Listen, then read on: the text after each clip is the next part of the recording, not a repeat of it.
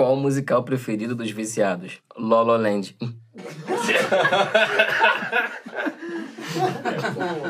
Essa foi bem boa.